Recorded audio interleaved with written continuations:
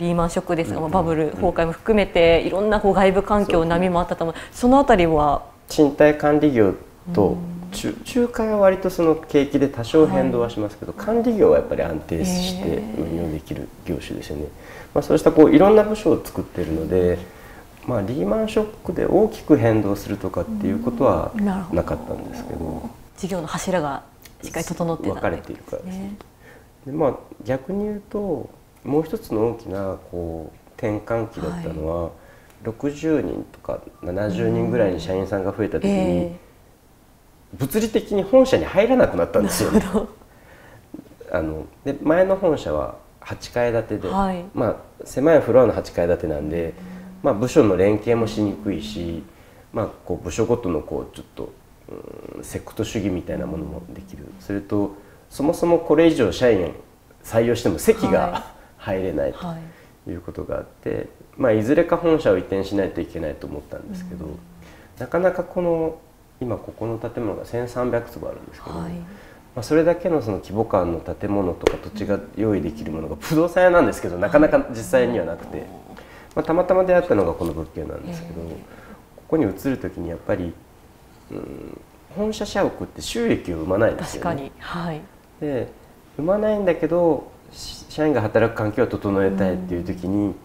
これだけの大きな借り入れをしてでもやるかっていうのはとても迷ったし、はい、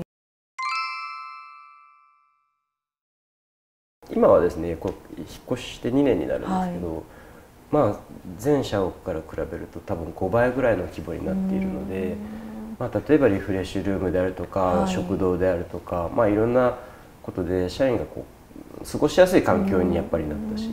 まあ、プライドを持って働きやすいということにもなったということでいうと、まあ、設備投資をこう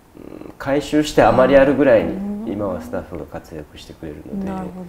あ、今は良かったなと思ってますけど、はい、その取り組みをしようっていう時はとっても大きな不安だったですね。やっぱ経営者の方々の中にはこう本社にお金をかけるかかけないかっていうところでも議論分かれると思うんですが社長としてはやっぱりこう ES 満足が結果的に CS につながってるっていう実感はあられるってこと特に僕らの場合はこうサービス業なのでやっぱりあくまで、まあ、商品を仕入れて売るということではなくて、サービスを売るという意味で言うとサービス提供してる社員自体がプライドを持ってたりより良くしようという意識を持ってたりしないと。いいサービスっていうものは出てこないし、はい、それとその社員が発揮するサービスってやっぱり1年生より5年生5年生より10年生の方が、まあ、キャリアも積めるわけだから、はい、まあ、その意味ではできるだけ長期にこうスキルを上げてほしいと思っていますし、まあ、そういった意味でも長く活躍して頑張っていこうと思う状況にしてあげるっていうのはとても大事かなと思います。なるほど。社長のビジネスの考え方としてこう点を線にで線を円にという考え方でその事業の幅ですとかビジネスをしてこられたというふうに伺いました、ぜひその考え方とそれによってどう広がってきたのかというのを聞かせてくださいビジネスなんでやっぱり赤字ばかりでは倒産してしまう、えー、その意味ではやっぱり儲からんといかんと思うんですね、でも一方で自分だけ儲かりたいとか、価値がないものを売りつけてでも儲かりたいって思う物事はもしかしたら一瞬は成り立ったとしても、うん、ずっと長くはそれは続かないと思うんですよね。はい、その場限りになってしまうと、うん、でそうならないようにするためにはじゃあ我々が提供できてる価値って何だっていうことを考えることがやっぱり一番大事だと思っていて、うん、当社の場合管理会社なんで管理個数が多い方が売り上げが高くなるんですよね。はい、でも管理を預けてもらうのはやっぱりオーナーさんなんで、オーナーさんが一番求めてるのは高い入居率と、まあ、住んでる方の満足だと思うんで、はい、それを作れる会社にすることができれば、まあ、だんだんオファーも増えるだろうしというふうに思っているので、まあ、このオーナーが抱えている課題を解決するためにいい物件を作る商品化をする力を上げたいと思って管理部を運営しているし、まあ、それでできた商品を、まあ、新しくこうネット戦略室とかありますけど、まあ、世の中に発信していく能力を高める、まあ、そうすることで借りたい方に目が留まって見ていただける。で見ていただければ問い合わせが来るんで店舗に来ていただいて今度は賃貸営業部が頑張るので、まあ、実際に物件にご契約いただける。ご契約いただいたら入居率が上がる、はい、入居率が上がると、まあ、最初にあった家主さんの満足に近づくんですけど、まあ、入ってもすぐ退去したら困るので、やっ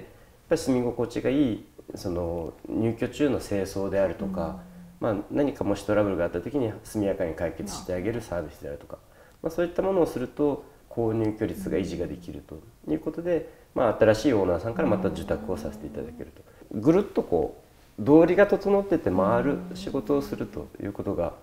まあ、企業として大事だろうと思っていて、まあ、ましてその今そういう部署が増えてるので、えー、このことを担うのは管理部このことを担うのはネット戦略室このことを担うのは賃貸営業部って、えー、まあ、部署の役割は違うけど、はい、それぞれがきちんとした数値目標を持って、まあ、こっちのおかげでこっちの部署が発信できる、はい、発信してくれたおかげで契約ができるっていう、まあ、お互いの感謝もありながら、はい、そのサイクルにすることで、まあ、お客様の満足を勝ち取るというのが、まあ、ビジネスの基本なんだろうというふうに思って。逆に言うとその部署間の連携といいますかこうシナジーが生まれている御社の強みっていうのはど,、などういうところだと思われますか？今みたいなこうビジネス構造をきちんと理解をしてもらって、はい、その経営計画書とか、はい、まあ、中期経営計画とかで、まあ、都度都度そのこういうビジネスモデルでやってるんだよというお伝えもするし、まあ、自分の部署がやってる数字目標は全体でいうとこういうサイクルの中のどこで貢献してるんだという認識もしてもらうようにしてますし、まあ、先ほどこう見ていただいた経営計画書もなので毎日の朝礼で今日は何ページを昭和する、まあ、違う部署のページを読むこともあるわけですけど、それによって他部署のことでもこう理解をしてスピーチをする機会を作るとか。でまあ、ちょっとずつですけど一日一日ちょっとずつその全体のスタッフの理解度を深めるという工夫をしています、なるほど。全社をつなげるのは理念であると。そうですね。それも掲げるだけじゃなくて、ね、浸透の取り組みっていうのをされてるってことなんですね、ね、社員が例えば日報であるとか、えー、日々の会議での発言とかで、うちの理念に基づくまるで考えるとこうだと思うんですとかっていう発言がちょこちょこやっぱり言ってますね。はい、そういう機会にやっぱりちょっと心の中で嬉しいですよね。伝わってんなみたいな。確かに。それが浸透っていう。証明でもありますよね